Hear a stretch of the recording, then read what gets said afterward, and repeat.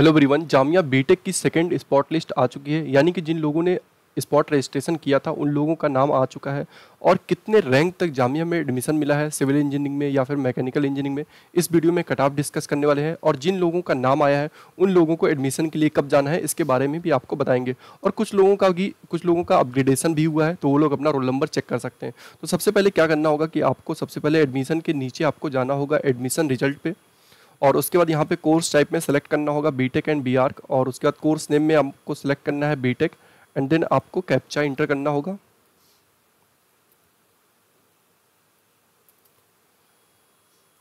जब आप इसको ओपन करेंगे तो यहाँ पे आपको दिख जाएगा B one four second list of selected candidates from online registration यानी कि सेकेंड स्पॉट लिस्ट है, ये टोटल सिक्स लिस्ट है और स्पॉट से सेकेंड लिस्ट है।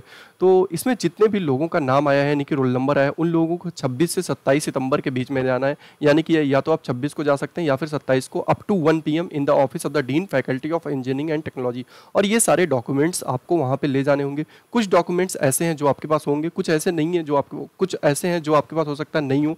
जैसे एंटी रैगिंग हो गया एंटी रैगिंग एफिडेविट हो गया तो ये सब वहाँ पे आसपास, वहाँ पे बन जाएँगे। तो आप वहाँ पर भी जा करके बनवा सकते हैं। बाकी आपके पास मार्कशीट होनी चाहिए, ट्रांसफ़र सर्टिफिकेट, करेक्टर सर्टिफिकेट, जो आपके ये सब डॉक्यूमेंट्स है, वो आपको ले जाना होगा। लाइक कैटेगरी सर्टिफिकेट, ये सारे डॉक्यूमेंट, फ़ोटो हो गया, सारे डॉक्यूमेंट्स आप यहाँ पे पढ़ सकते हैं। और आप लोगों का जितने भी लोगों का नाम है, उन लोगों को छब्बीस से सत्ताईस सितंबर के बीच में जाना है। जिन लोगों का अपग्रेडेशन हुआ है, उन लोगों को बार बार रिपोर्टिंग नहीं करनी है। अब कट ऑफ़ के बारे में डिस्कस कर लेते हैं सीधा। तो आप देख सकते हैं कि कट ऑफ़ अगर सिविल इंजीनियरिंग की बात करें तो जनरल में एक लाख पच्चीस हज़ार चार सौ बारह रैंक तक सिविल इंजीनियरिंग मिल चुका है और मुस्लिम कैटेगरी में एक लाख तीस हज़ार तीन सौ पैंतीस रैंक तक मिल चुका है। तो अगर आप देखेंगे कि जामिया मिली इस्लामिया में इस बार अगर कट ऑफ़ देखेंगे तो बहुत ही ज़्यादा डिक्रीज हुआ है। लास्ट ईयर एक लाख के अंदर क्लोज हो, हो गया था सिविल इंजीनियरिंग मैकेनिक सब कुछ एक लाख के अंदर क्लोज हो गया था।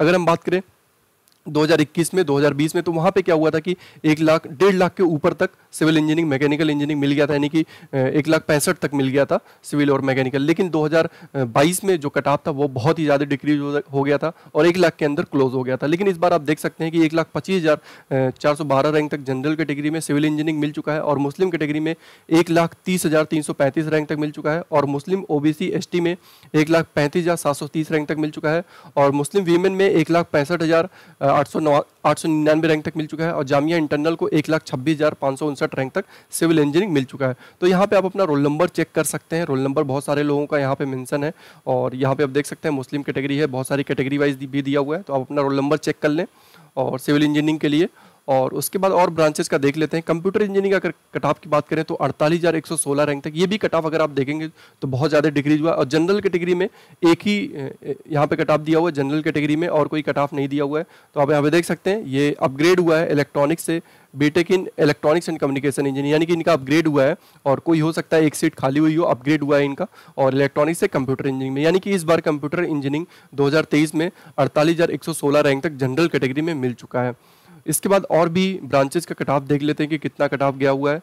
तो अगर आप देखें तो इलेक्ट्रिकल इंजीनियरिंग की अगर बात करें तो जनरल कैटेगरी में नब्बे हज़ार चार सौ चार सौ छिहत्तर रैंक तक मिल चुका है और मुस्लिम वीमेन में एक लाख दो हज़ार आठ सौ अस्सी रैंक तक मिल चुका है और जेके को यहाँ पे दो लाख इकहत्तर हज़ार तीन सौ बीस रैंक तक इलेक्ट्रिकल इंजीनियरिंग मिल चुका है। तो यहाँ पे आपका लिस्ट दिख जाएगा, यहाँ पे आपका रोल नंबर दिख जाएगा और उसके बाद ये हो गया इलेक्ट्रिकल इंजीनियरिंग का और इसके बाद अगर बात करें इलेक्ट्रॉनिक्स एंड कम्युनिकेशन इंजीनियरिंग का तो जनरल कैटेगरी में सत्तर रैंक तक इलेक्ट्रॉनिक्स एंड कम्युनिकेशन इंजीनियरिंग मिल चुका है जामिया में 2023 में इस बार।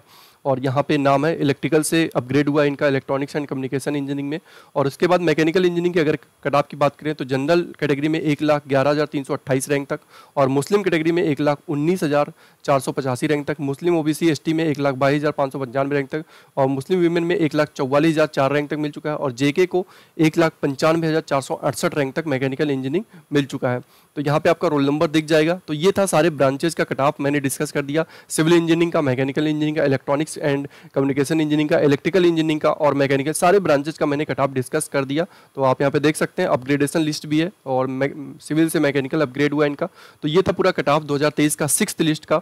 और अगर कटाफ की बात करें तो इस बार कटाफ थोड़ा सा डिक्रीज हुआ थोड़ा सा क्या, बहुत ज़्यादा डिक्रीज हुआ है। लास्ट ईयर दो हज़ार बाईस में एक लाख के अंदर क्लोज हो गया था। लेकिन अगर हम कंपेयर करें दो हज़ार इक्कीस और 2020 से तो 2021 2020 में क्या हुआ था एक लाख पैंसठ तक चला गया था। तो 2022 में भी हम लोग उम्मीद कर रहे थे कि उतना कट जाएगा, लेकिन 2020 में 2022 में भी हम लोग उम्मीद कर रहे थे कि 2020 22 में कट जाएगा एक लाख पैंसठ हज़ार तक। लेकिन 2022 में क्या हुआ कि एक लाख पे क्लोज हो गया था। लेकिन इस बार आप देख सकते हैं कि एक लाख पच्चीस हज़ार रैंक तक सिविल इंजीनियरिंग मिल चुका है जनरल कैटेगरी में और एक लाख तीस हज़ार रैंक तक मुस्लिम कैटेगरी में सिविल इंजीनियरिंग मिल चुका है। तो सारे लोग क्या करें कि चैनल को भी सब्सक्राइब करके रखें। अगर हम बात करें कि इसके बाद और भी लिस्ट आ सकती है कि नहीं तो अगर आपको पता होगा कि 2022 में अगर हम बात करें तो छः लिस्ट आई थी छः लिस्ट पे क्लोज हो गया था। लेकिन उसके पहले की अगर हम बात करें तो आठ लिस्ट भी आई है, नौ लिस्ट भी आई है और 2021 में आठ आठ, नौ लिस्ट आई थी और 2021 2020 में भी आठ, नौ लिस्ट आई थी। तो आठ से नौ लिस्ट आती रहती है और इसमें डिपेंड करता है कि, और जहाँ तक अगर देखें कि सिविल इंजीनियरिंग में तो काफ़ी लोगों को सीट मिली है। तो अगर इसमें से हो सकता है कम लोग भी अगर सीट नहीं लेते हैं, फॉर एग्ज़ाम्पल दस लोग भी सीट नहीं लेते हैं, दस लोग भी एडमिशन नहीं लेते हैं तो क्या होगा कि नेक्स्ट लिस्ट आ सकती है? नेक्स्ट लिस्ट के बारे में अगर हम बात करें तो नेक्स्ट लिस्ट आपकी 27 सितंबर के बाद ही आएगी। यानी कि 30 सितंबर के पहले नेक्स्ट लिस्ट आ सकती है अगर आना होगा। यानी कि 28 से 30 सितंबर के बीच में नेक्स्ट लिस्ट आ सकती है। Okay thank you